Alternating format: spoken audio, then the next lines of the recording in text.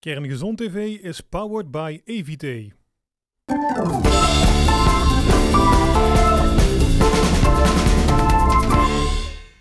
Hartelijk welkom bij Kerngezond TV en we maken er vandaag weer een feestje van. Gezond bewegen, gezonde voeding en gezond gedrag met inspiratie van topsporters.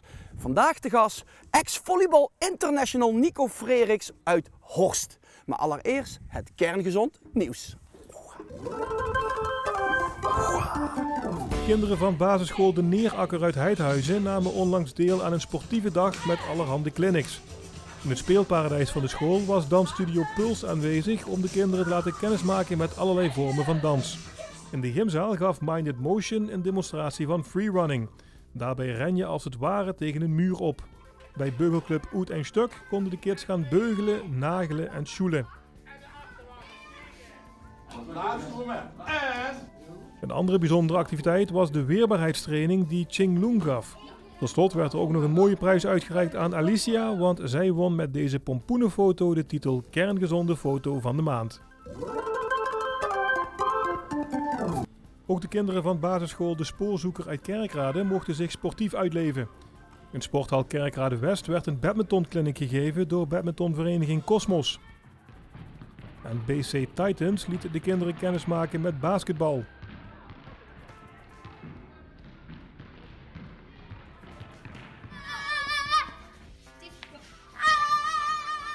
Taekwondo-vereniging Chong Kwon demonstreerde enkele verdedigingstechnieken. En daarnaast konden de leerlingen ook nog deelnemen aan een handbalclinic.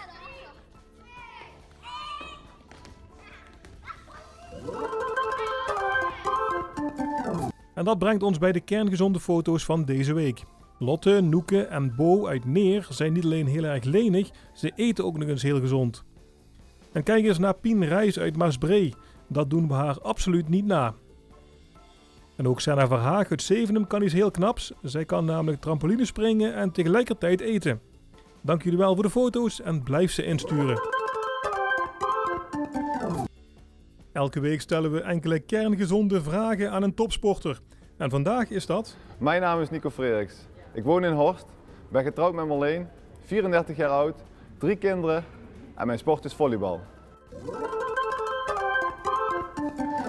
Nou, ik had een klein uh, stukje aanleg voor uh, balsporten en ik vond het heel leuk om in een team te spelen.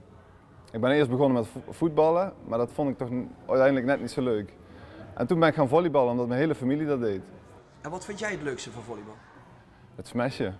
Maar helaas was ik zo klein dat ik dat niet kon doen. Ja, je zegt klein, maar hoe groot ben je? 1,93. Dat vind ik groot. Ik ben, ik ben een smurf naast jou. Maar in het volleybalwereldje ben ik een kleintje. De grootste waar ik mee, ooit mee gespeeld heb is 2,21 meter. Je hebt gespeeld en gewoond in 10 verschillende landen.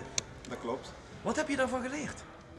Nou, je moet je voornamelijk kunnen aanpassen. Uh, in andere landen heb je heel veel verschillende culturen, andere gewoontes.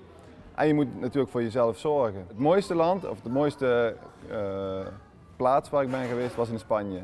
Daar had je het strand, de zee, was heerlijk. Uh, daarnaast uh, de bergen in Oostenrijk, heel mooi. om een keer op een doordeweekse dag even lekker hoog in de bergen te gaan lopen. Ook goed voor de lucht en voor, je, voor jezelf. Maar er zijn natuurlijk ook andere kanten. Je hebt Rusland waar je met min 20 in een hotel zit. En dan, dan is het leven toch wat kleiner. Um, maar het grootste, de grootste cultuurshock heb ik gehad in Iran. Want? Ja, daar zijn wat andere gebruiken, andere culturen.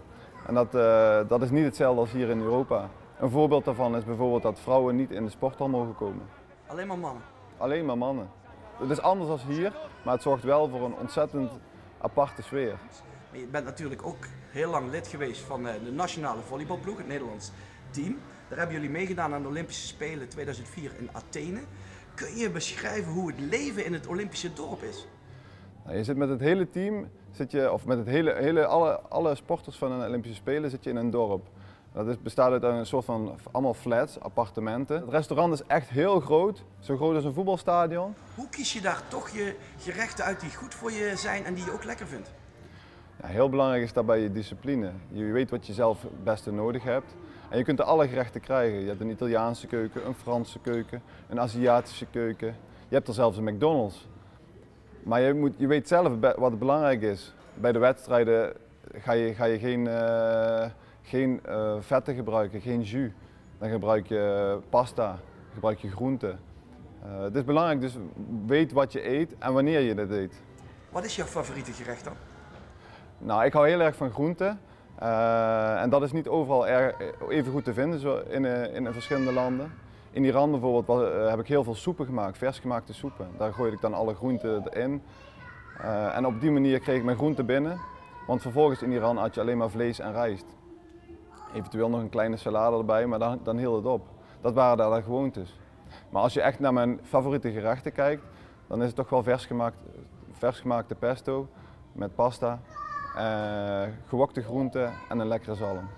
Jouw tip voor kinderen die topsporter willen worden? Want er zijn natuurlijk een heleboel kinderen die eenzelfde carrière als Nico Frederiks nastreven. Nou, doe iets wat je heel leuk vindt. Werk heel hard en zorg gewoon goed voor jezelf. Want je lichaam is het belangrijkste onderdeel voor topsport. Tijd voor de prijsvraag over Nico. In hoeveel verschillende landen volleybalde hij? Is dat A in 5 landen, B in 10 landen of C in 15 landen? Mail je antwoord naar info@wijzijnkerngezond.nl en zet duidelijk je naam, leeftijd en woonplaats erbij. De winnaar van de prijsvraag wordt binnenkort bekendgemaakt in deze uitzending en wint een fantastische prijs. Hij of zij mag namelijk met alle andere prijswinnaars deelnemen aan de Kerngezond Afsluitdag en zelfs kelteren om de hoofdprijs. Een weekendje weg voor het hele gezin, aangeboden door vakantiepark De Leistert in Roggel. De start? Let op de lampen.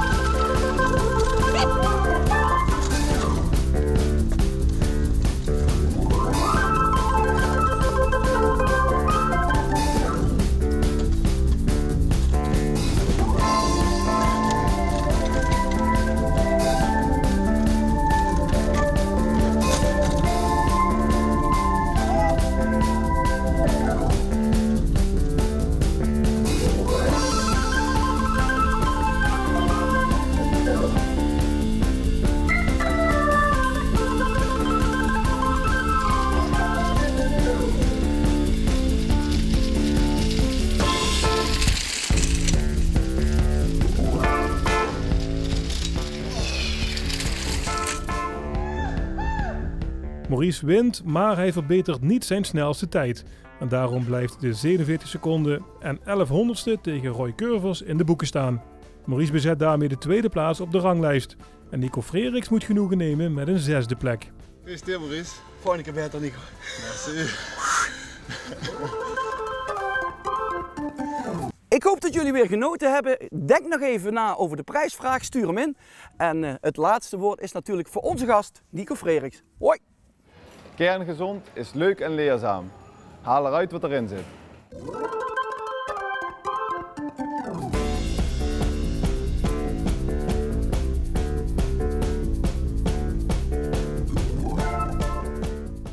Kerngezond TV is powered by EVT.